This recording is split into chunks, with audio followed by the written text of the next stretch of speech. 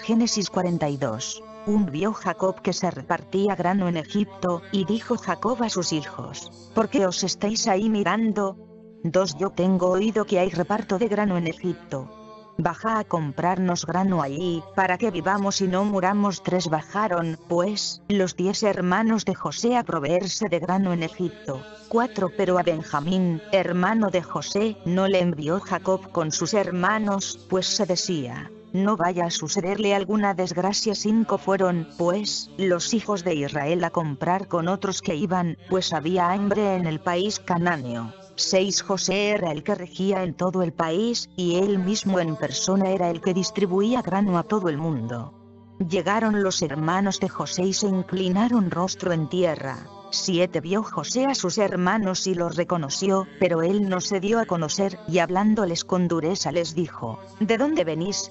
Dijeron, de Canaán, para comprar víveres. 8 O sea, que José reconoció a sus hermanos, pero ellos no le reconocieron. 9 José entonces se acordó de aquellos sueños que había soñado respecto a ellos, y les dijo, Vosotros sois espías, que venís a ver los puntos desguarnecidos del país. 10 dijéronle, No, Señor, sino que tus siervos han venido a proveerse de víveres. 11 Todos nosotros somos hijos de un mismo Padre, y somos gente de bien tus siervos no son espías. 12 díjoles, nada de eso. A lo que venís es a ver los puntos desguarnecidos del país. 13 dijéronle, tus siervos somos dos hermanos, hijos de un mismo padre, en el país canáneo. Solo que el menor está actualmente con nuestro padre, y el otro no existe. 14 José replicó, lo que yo os dije, sois espías.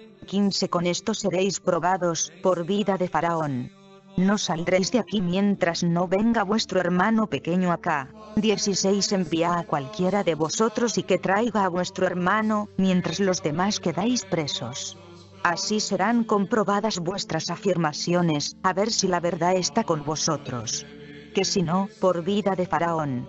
Espías sois. 17 Y los puso bajo custodia durante tres días. 18 Al tercer día les dijo José, haced esto, pues yo también temo a Dios, y viviréis. 19 Si sois gente de bien, uno de vuestros hermanos se quedará detenido en la prisión mientras los demás hermanos vais a llevar el grano que tanta falta hace en vuestras casas. 20 Luego me traéis a vuestro hermano menor. Entonces se verá que son verídicas vuestras palabras y no moriréis, así lo hicieron ellos. 21 y se decían el uno al otro, hace que somos culpables contra nuestro hermano, cuya angustia veíamos cuando nos pedía que tuviésemos compasión y no le hicimos caso. Por eso nos hallamos en esta angustia 22 Rubén les replicó. ¿Nos os decía yo que no pecarais contra el niño y no me hicisteis caso? Ahora se reclama su sangre. 23 Ignoraban ellos que José les entendía, porque mediaba un intérprete entre ellos. 24 Entonces José se apartó de su lado y lloró, y volviendo donde ellos tomó a Simeón y le hizo amarrar a vista de todos. 25 Mandó José que se les llenaran los envases de grano, que se devolviera a cada uno su dinero en la talega, y que se les pusiera provisiones para el camino. Así se hizo con ellos. 26 Ellos pusieron su cargamento de grano sobre los burros, y se fueron de allí. 27 Al ir a ser noche, uno de ellos abrió su talega para dar pienso a su burro, y vio que su dinero estaba en la boca de la talega de grano. 28 Y dijo a sus hermanos, me han devuelto el dinero. Lo tengo aquí en mi talega. Se quedaron sin aliento, y se miraban temblando y diciendo, ¿qué es esto que ha hecho Dios con nosotros? 29 llegaron donde su padre, a Canaán, y le manifestaron todas sus aventuras, diciéndole, 30 El hombre que es señor del país ha hablado con nosotros duramente y nos ha tomado por espías del país. 31 Nosotros le hemos dicho que éramos gente de bien y no espías. 32 Que éramos dos hermanos, hijos del mismo padre que uno de nosotros no existía, y que el otro se encontraba actualmente con nuestro padre en Canaán 33 Entonces nos dijo el hombre que es señor del país. De este modo conoceré si sois gente de bien. Dejad conmigo a uno de vosotros, toma lo que hace falta en vuestras casas y marchaos 34 a buscarme vuestro hermano pequeño.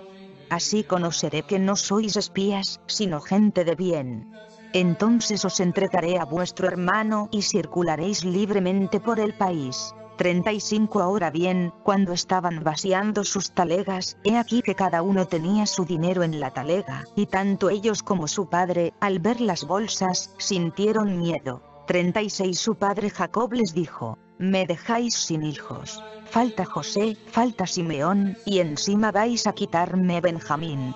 Esto acabará conmigo 37 dijo Rubén a su padre, que mueran mis dos hijos si no te lo traemos. Confíalo a mí y yo te lo devolveré 38 replicó, no bajará mi hijo con vosotros, pues su hermano está muerto y solo me queda él. Si le ocurre cualquier desgracia en ese viaje que vais a hacer, entonces haríais bajar mi vejez con pena al Seol.